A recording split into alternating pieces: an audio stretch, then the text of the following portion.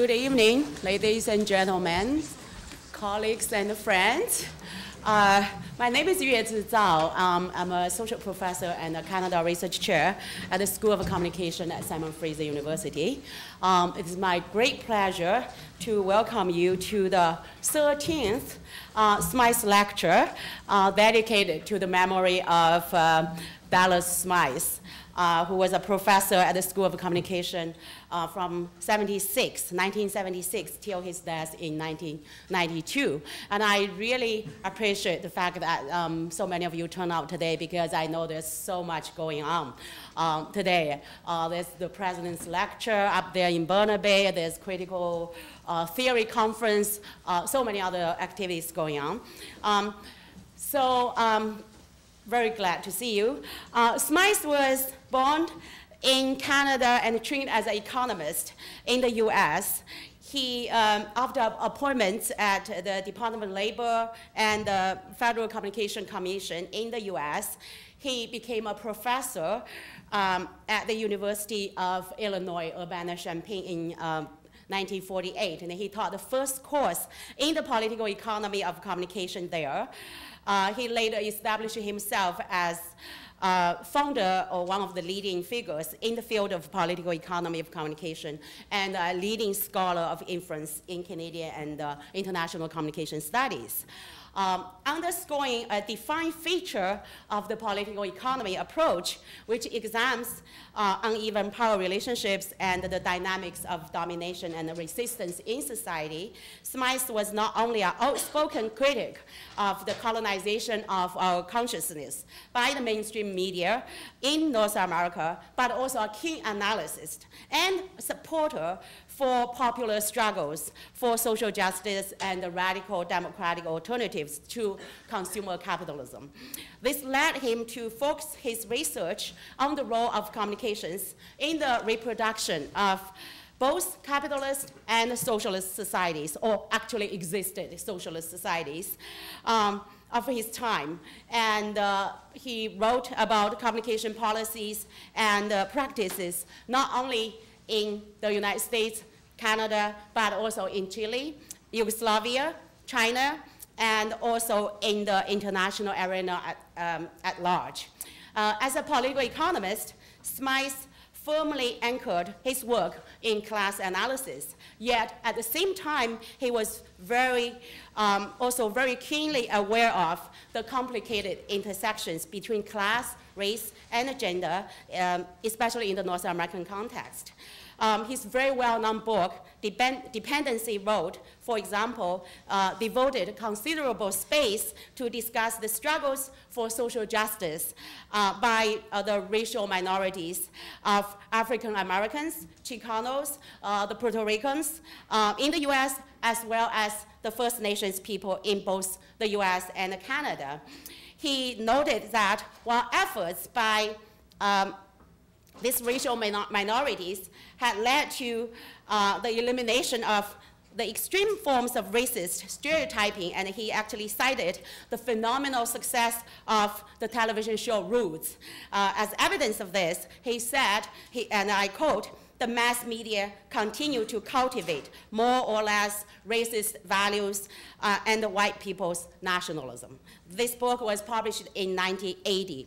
So it is uh, truly fitting that uh, this evening we welcome Professor John Downing from another professor from Illinois, uh, this time Southern Illinois, um, and one of the most pop, uh, cosmopolitan uh, critical communication scholars in the world to address the topic of media and race in a lecture entitled The Americas, Not Yet the Post-Racist Media Scenario. Uh, this topic is especially fitting um, in the context of uh, the Illinois Senate, um, Obama's campaign for the U.S. Pres uh, Democratic presidential nomination. Um, before I call my colleague, uh, Bob Hackett, to um, give um, Professor John Downing a proper introduction, please allow me to make a few acknowledgments. Um, for uh, generous financial support, I want to thank um, Director Martin Lab, Laba of the School of Communication, um, also Dean Brian Lewis of the Faculty of Applied Science um, at SFU, as well as SFU President uh, Michael Stevenson.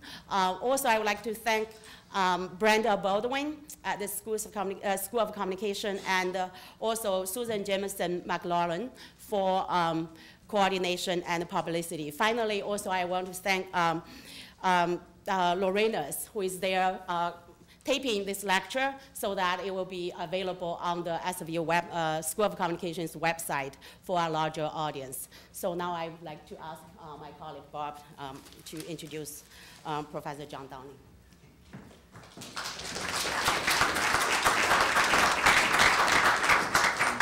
Thank you, uh, Zhao. And uh, it's my pleasant duty to uh, introduce John Downing, or JD as is known to uh, his friends and colleagues. Um, and it's a difficult task to summarize his achievements in three or four minutes. So I'm going to crib from several other documents. Uh, and the first is his own bio, which is online. Uh, John Downing is director of the Global Media Research Center in the College of Mass Communication and Media Arts at Southern Illinois University, Carbondale. Before that, he taught at the University of Texas in Austin, at Hunter College in New York, where I first met John in 1986, and he's been a, a valued and supportive colleague ever since. The University of Massachusetts in Amherst, and Greenwich University in London, going right back to 1968. Uh, JD has written at least uh, eight books, or co written or edited at least eight books, including Radical Media, Rebellious Communication and Social Movements, uh, The Sage Handbook of Media Studies, of which he's editor in chief, uh, Representing Race, which is co authored with another leading writer in the field, Charles Husband. Um, other books include uh, The Media Machine, going back to 1980, the same year as Dallas Smythe's book Dependency Road was published, Film and Politics in the Third World, Questioning the Media, A Critical Introduction, and international, uh, Internationalizing Media Theory. John has published uh, recent studies of the global Indymedia movement and is currently working uh, on editing a one-volume international encyclopedia of social movement media. So that's uh, the official bio, but I really don't think it does him justice. Um, so I want to quote from a second document, which is a memo uh, from my colleague Zhao, uh, reminding us of the scope of John, John Downing's scholarship. Uh, it includes his internationalism, his extensive knowledge of international uh, and uh, comparative media systems, particularly his studies of East European and post-Soviet media, uh, his work on third world cinema and politics, his work on media and democratic communication, on social movement and alternative media in all its forms, and of course his, his recent work on, uh, in fact, ongoing work on media and race. But again, I think we need to flesh that out a bit, and I want to quote from a, a third and final document, which is actually a letter of reference that I had occasion to write just a couple of months ago in support of a nomination uh, for John Downing as college, um, the Outstanding Scholar Award of his college, which was successful, by the way. So another of his achievements. I wrote several points here that I would like to quote. Uh, first, that John has made enormous contributions as a researcher and scholar, but also as a teacher, a mentor, a builder of communities of knowledge, and an intellectual beacon for individuals and movements around the world struggling for social justice. John goes to great lengths without sacrificing theoretical rigor to make his work as engaging and accessible as possible, avoiding the unnecessary jargon and impenetrable prose that is still too fashionable in some corners of the academy. Uh, you can make your own judgments about that, I suppose. But um, I, a third point is that uh, as a white male scholar of British background, he deserves considerable kudos for raising and problematizing questions of race, gender, and Western centricism in media studies, and for challenging the related assumptions and blind spots uh, in scholarship. And interestingly, one of the first uh, media and communication books I ever read was John Downing's book, The Media Machine, which was published in 1980, as I mentioned, which is about the time I was switching sort of incarnations from political science to communication. And yesterday I was just sort of flipping through it, uh, and just came across almost at random, uh, flipping through it, and came across a phrase, uh, quote, if we turn to these papers' treatment of racism and sexism, we find something startling straight away. They seem to pay as little attention to these forms of oppression as capitalist media.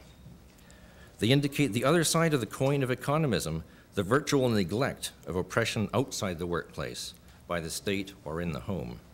So I think that speaks to a, a really, a really long-standing concern uh, on John's part with the question of, of race and, and uh, gender, uh, as well as class and inequalities of power in the media system. Uh, and I want to conclude with uh, a fourth point that I made in, in my um, uh, letter of reference, which was about his book Radical Media, which I've used as a sort of a core textbook in my course on media democratization since its um, publication in 2001. Uh, in a published book review, I described it as a landmark achievement with an almost encyclopedic range of examples and analyses that is as impressively productive for the range of questions it suggests as for those it directly addresses. It is a prismatic study, one that offers a masterful consideration of radical media from an impressive variety of disciplinary and theoretical perspectives to make the case for their worthiness as a field of both political practice and academic study. What I didn't say uh, in that, that letter was that what I really liked about radical media were the ongoing metaphors and references to beer. Um, things are always, in, in John's view, uh, are often yeasty, um, they are in ferment, um, they are a feisty brew, and so, uh, and in fact, there's one phrase uh, where I think he contrasted the joys of microbrews um, with what he called uh, the carbonated muck of corporate beer. And I think that was one occasion where I actually stood up and applauded a book that I was reading. Um, so I think uh, I'm, uh, I'm sure we're going to get today a, a feisty brew uh, on the question of the Americas, not yet the post-racist media scenario. So, John Downing.